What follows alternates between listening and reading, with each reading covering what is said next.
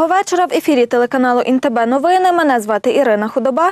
І сьогодні я розповім вам про таке. Незабаром усі маршрутки Тернополя з валідаторами. Через ремонт підпірної стінки на дружбі перекриють одну смугу руху.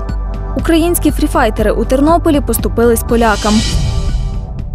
Уже із серпня усі тернопільські маршрутки планують обладнати валідаторами.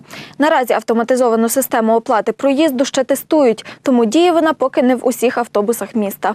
До валідаторів, тобто автоматизованої системи оплати за проїзд та обліку пасажирів, тернополяни вже звикли. Такі пристрої повноцінно функціонують у всіх тролейбусах міста. Тепер же справа дійшла і до маршруток. Що він дасть? Дуже багато дасть.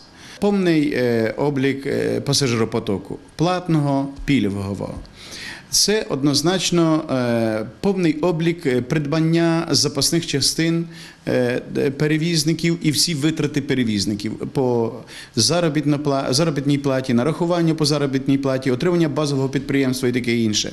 Всі ці речі ми будемо знати. І ми будемо бачити, чи е, є потреба, чи нема потреби все ж таки вносити зміни і доповнення до е, розміру тарифу. Окрім того, додає Ігор Мединський, це дозволить контролювати і самих водіїв, таким чином стимулюючи їх працювати відповідно до усіх правил надання послуг громадським пасажирським транспортом. Водій буде працювати по договору з перевізником, де чітко буде зазначено, що він отримує мінімальну зарплату плюс 200% чи 300% премії. Але премія буде залежати перше, чистота транспортного засобу, безпечність транспортного засобу, комфорт транспортного засобу. Я маю на увазі це, щоб не були е, подерті сидіння, щоб не була подерта е, нас- настил на підлозі і таке інше. Тобто, також буде величезна е, кількість відсотків зніматися за несвоєчасний виїзд на маршрут або передчасний з'їзд маршруту. Поки ж валідатори працюють у тестовому режимі, а тому отримати свій електронний квиток на проїзд в маршрутці поки можуть не усі. Прилади автоматизованої системи оплати встановлені лише в деяких автобусах на маршрутах за номерами 22, 23 і 30. Хочемо дуже до 1 серпня встигнути. Ну, гірший випадок, я кажу, там десь е, до вересня місяця встигнути, щоб весь транспорт був охоплений вже е, електронним квитком. Дуже багато питають зараз, чи е, варто брати квиток, чи варто мати квиток. Варто. Бо в мить може е, зараз бути здійснений контроль. Контроль сьогодні законодавчо легалізований, і пасажир, в якого відсутній квиток, може бути штрафований. Про ставлення до такого нововведення кореспонденти ІНТБ запитали і у водіїв маршруток, і у пасажирів. Як ставитися? Все рівно. Краще би, щоб водій звертав більше уваги на дорогу, ніж на валідатор. Так що користі так якби з того. Воно добре, тому що воно фіксується, контролюється, але з другої сторони не добре, тому що водій відволікається. Ставлю карточку. О, Безоплатний проїзд. Хто заплатив? Другу карточку 4 гривні. І все? В чому користь на вашу думку? Не знаю. А люди що кажуть? Нічого не кажуть, от дивіться всі білети. Ніхто не бере білети. Хіба будуть провіряти, то будуть брати, а зараз ніхто не бере, бо всі білети. Як буде контроль, тоді можуть брати, а так ні. І, і, і тим більше я не встигаю ніяк. І давати білети, і давати здачу, і пробивати, і дивитися на здоров'я. Ніяк. Ніяк. Мусить бути другий чоловік. В іншій маршрутці за номером 22, де мав би бути тестовий валідатор, приладу ми не побачили. Водій пояснив це тим, що їздити з ним занадто складно. Маєте їздити з валідатором. Де ваш валідатор тестовий? Є, але ми не будемо з ним їздити. Чому? Ваша думка? Е, Це не практично. Ми або за дорогою будемо дивитися, або за тими чеками. Чесно кажучи, не знаю, не скажу вам, чи є користь від нього, чи немає. По-перше, людям не, не беруть квитки. По-друге, я не встигаю за тим всім. Деколи навіть здачу не, дай- не встигаєш давати, а тут ще з тими квиточками. Це не практично. Бо сиділа би людина збоку, нема питань.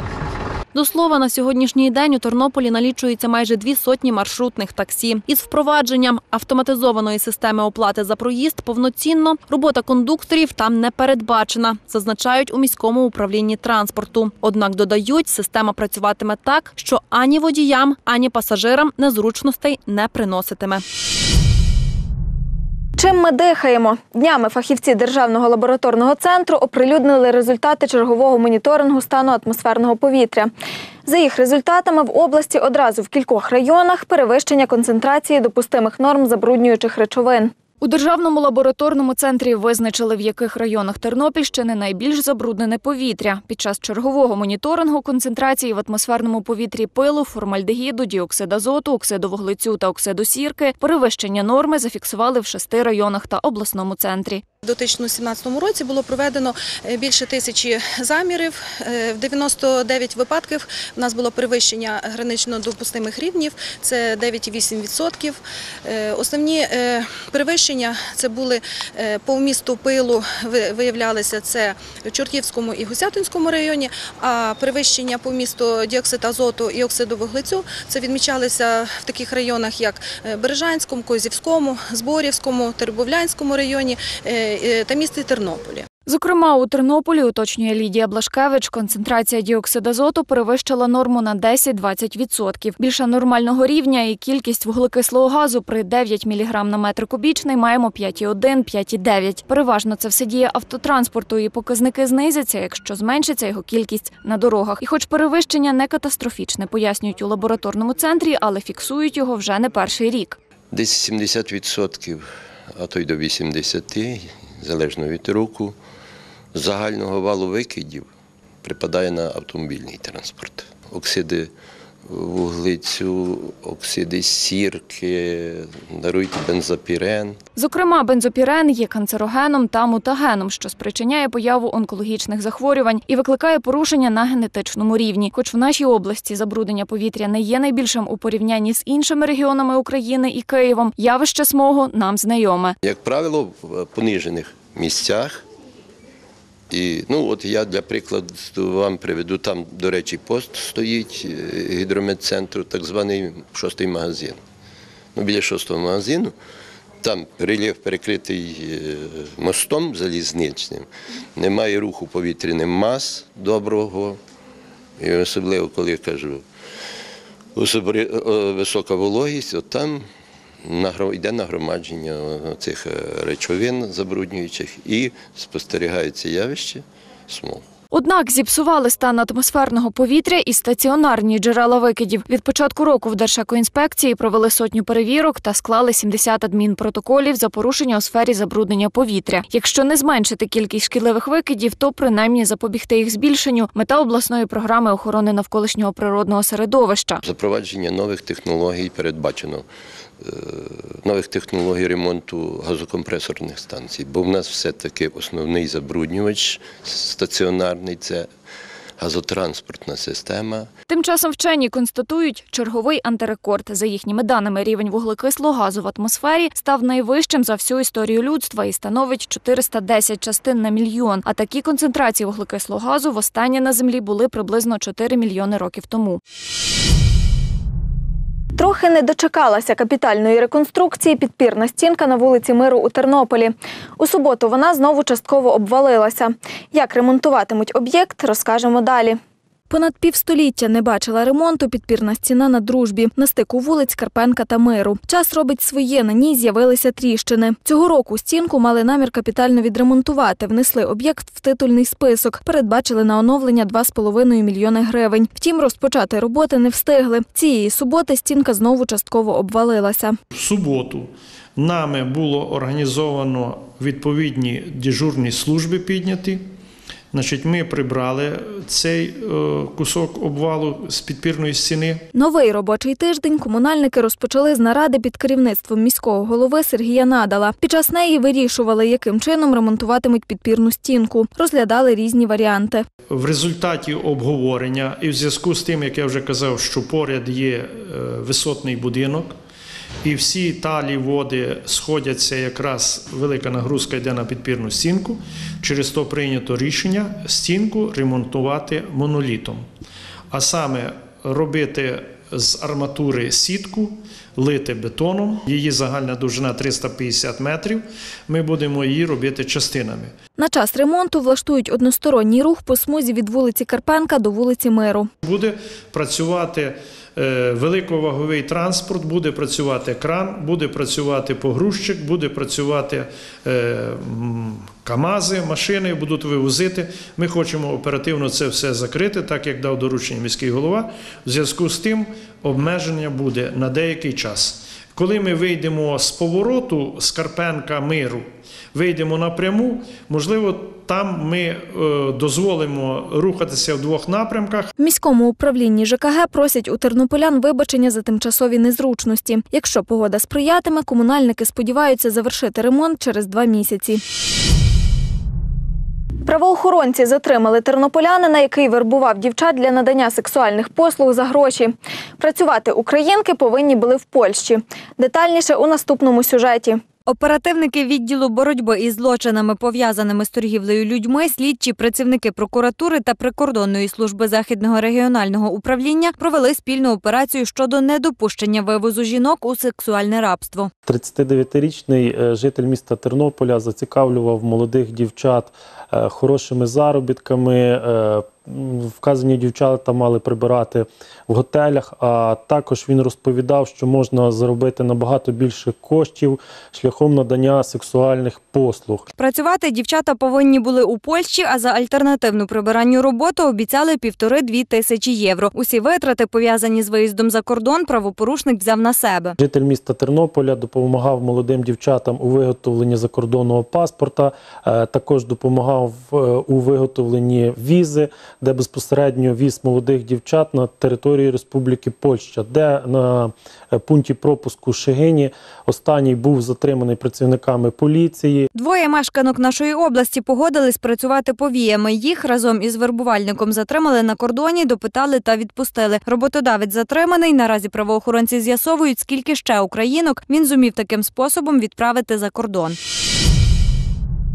Турнір з фріфайту втретє відбувся у Тернополі. Цього разу у битві за честь зійшлися українці та поляки. За нелегкими протистояннями стежила і наша Тетяна Ставінська. Змагання з фріфайту або ж вільного бою вже втретє відбулись у Тернополі. Чимало поціновувачів цього виду спорту днями зібрались в одному із розважальних комплексів міста, аби підтримати своїх фаворитів. Цього разу, окрім українських фріфайтерів, свої вміння показували і спортсмени з Польщі. 10 бійців з підкарпатського воєводства будуть змагатися з 10 українськими спортсменами, і з них шестеро або семеро представляють Тернопільщину, саме місто Тернопіль. Е, Відомі наші спортсмени, які ну, на світі виступають, якби такі дуже знані. Також перед е, цим турніром буде чотири аматорські поєдинки юнаків, такі дуже динамічні. Вони всі чемпіони України у своєму віці, у своїх вагах. Український фріфайтер, 22-річний тернополянин Юрій Босий, пригадати не може, вкотре вже бере участь у подібних змаганнях. Спортсмен налаштований лише на перемогу, однак відзначає і силу суперника. Противник з Польщі, який, напевно, більше бореться, я маю більшу перевагу в стійці. Ну і килим покаже. Перш за все, особисто для мене це спорт, який допомагає мені реалізовуватися у житті. Тобто я ставлю перед собою якісь певні цілі і за допомогою цього спорту я добиваюся.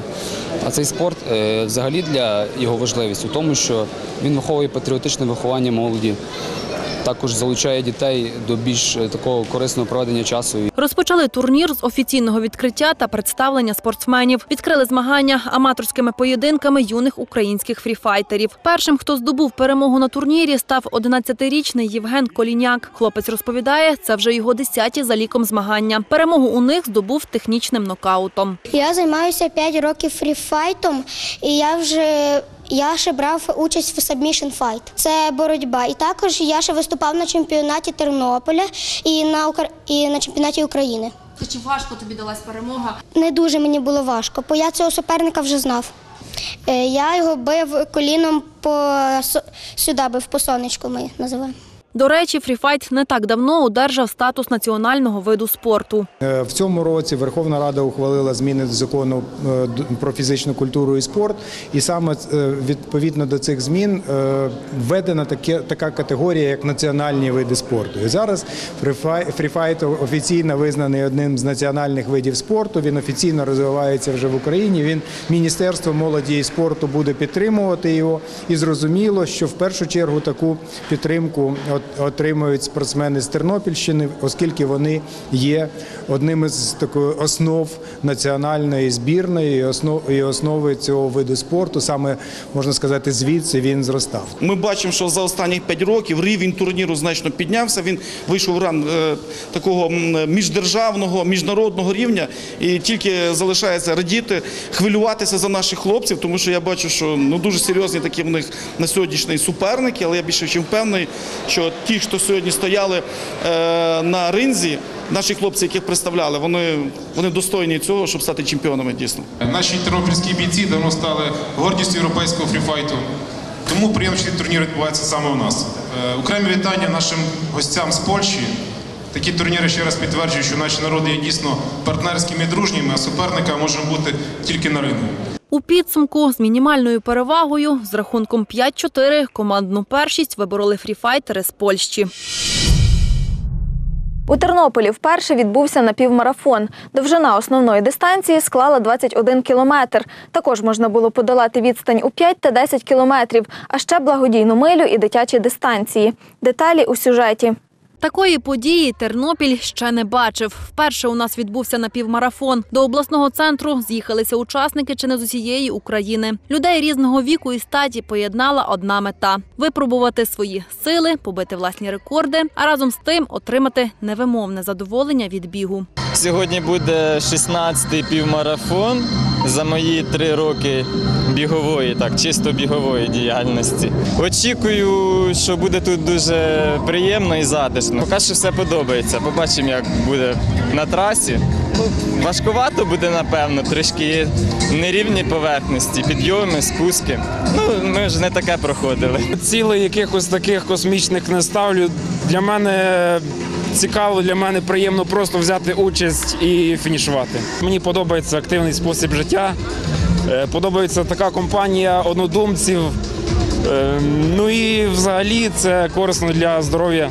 Тетяна Прохорова з Вишгороду Київської області у півмарафоні бере участь вперше. Дівчина почала бігати нещодавно, але вже встигла полюбити цей вид спорту. А щоб не втомлюватися і тримати темп, під час бігу подумки читає вірші. Спочатку готувалася до горгану рейс минулого року, а потім втягнулася і почала бігати, отримувати задоволення. Біг звільняє від різних непотрібних думок, концентрує і надає задоволення, приносить емоції. Дистанцію у 21 кілометр долали 250 учасників. По 100 бігунів стартували на 5 і 10 кілометрів. На дитячі забіги зареєструвалися більше 200 маленьких спортсменів. Зараз у нас є учасники з більше ніж 50 міст і сіл е, України, і також за кордону це Німеччина, Азербайджан і Туреччина. Вимоги від віку від 18 років верхньої межі немає. Найбільш насичена в нас категорія е, 20-29 років і 30-39 років. Це найбільша кількість учасників, але є учасники і старші 50, і старші 60 років. А 64 роки учасник і 66 років учасниця. П'ятикілометрову дистанцію першим подолав львів'янин Володимир Ханас. Попри складність, до фінішу він прибіг за 16 хвилин. Ну, Я насправді бігаю довші відстані. Марафони, де коли навіть буває, і ультрамарафони, де більше 100 кілометрів. А того разу 5 кілометрів треба було швидко бігти. Для мене трошки така зашвидко. Бо як марафони бігаю, я трохи повільнішому темпі. То для мене така відстань складнувата. Інший львів'янин, 62-річний Володимир Рудник, ту ж саму відстань подолав за 26 хвилин. Чоловік каже, перемога для нього не головне, а біг це в першу чергу здоров'я. Раніше бігав частіше, зараз 30 років не бігав, перший раз за 30 років. Е, нормально себе почуваю, другий раз чуть трішечки додам. Я два місяці, з 10 теж квітня я пот- потренувався. Ну, але був запас витривалості, певний був. Також в рамках заходу усі охочі могли взяти участь і в благодійному забігу. Біжу заради мрії. Зібрані кошти скерують на допомогу дітям загиблих учасників АТО. Стартували і фінішували всі бігуни на театральному майдані. Це всі новини на сьогодні. Дякую, що були з нами. Залишайтеся з Інтебе і дізнаєтесь ще чимало цікавого.